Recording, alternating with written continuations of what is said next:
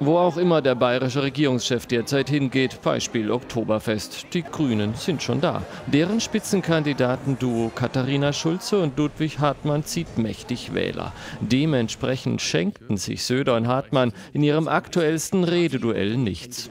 Ich höre ganz genau zu, was Sie sagen. Aus Respekt machen Sie es bitte auch. Hätten wir es machen können und da haben Sie hineingekrätscht. Ich will mich da höflich benehmen. Meine Frau hat mir gesagt, ich soll da ganz höflich bleiben.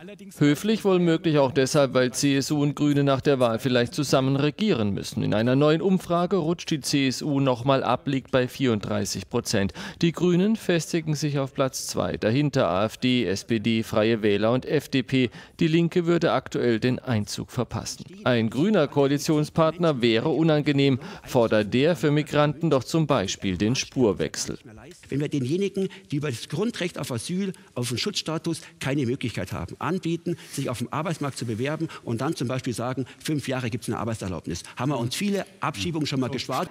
CSU-Chef und Bundesinnenminister Horst Seehofer lehnt das ab, ebenso die Kanzlerin. Doch beide erhielten in der Bundestagsfraktion diese Woche mit der Abwahl von Volker Kauder als Fraktionschef einen Schuss vor den Bug. Söder muss in Bayern nun alleine kämpfen und wehrt sich mit aller Kraft.